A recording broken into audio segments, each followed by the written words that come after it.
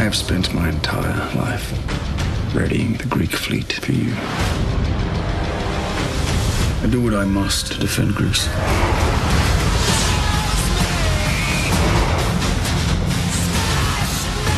In the original 300, the Spartans were bred to be these warriors. That's what their culture is.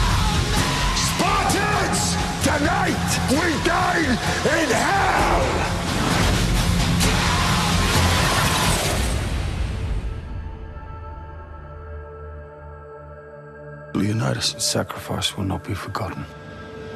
Avenge him. In 300 Rise of an Empire, Themistocles is a completely different character than Leonidas. He is, in many ways, a modern leader. Sparta's great sacrifice will allow us to unite Greece against one enemy. The really cool thing about this movie is we get to see Themistocles become this amazing hero after he kills Xerxes' father. Through the chaos, a moment appeared, and Themistocles would seize it. A moment that would ring across the centuries.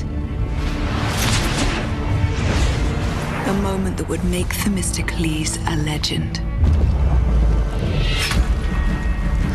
In truth, it was the Persian king Darius's boy, Xerxes.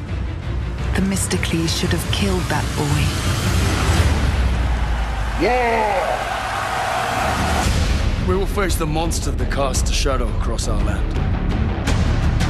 Themistocles is this amazing general and this extraordinary warrior. Today at sundown, we will attack them in the open water with no shore to narrow the battle. To attack a force of over a thousand ships with our meager force is suicide.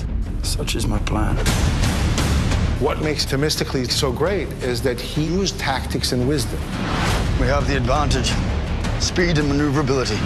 The way that he would coordinate attacks and use the weaponry was incredible. He's got him right where he wants him. Kashani is a fine tactician. I was speaking of Themistocles. He's shown himself to be quite brilliant in battle. Ram them! He's a very proud man. He loves his country and he tries to unite Greece against the Persians coming to enslave them.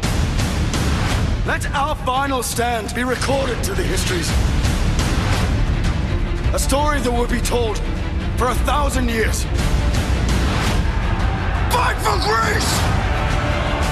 Surrender to me or meet your death. I would rather die a free man than as a slave. And let it be shown we chose to die on our feet rather than live on our knees. Seize your glory! 300 Rise of an Empire. Rated R. Experience it in IMAX 3D March 7th. Hold on, don't leave. I've got news on Ted too. Seth MacFarlane's Ted reigns as the highest grossing R rated original comedy film. And with the sequel in development, the rumors are circling that there may be a cast shakeup. A source has told the deadline that, that Amanda Seyfried will replace Mila Kunis as the female lead in the sequel. Apparently, the cast shakeup is a creative decision on MacFarlane's part. Seyfried and MacFarlane recently worked together on A Million Ways to Die in the West, which releases on May 30. TED 2 is due to hit theaters on June 26, 2015. So, what do you think about Seyfried taking over for Kunis as TED 2's female lead?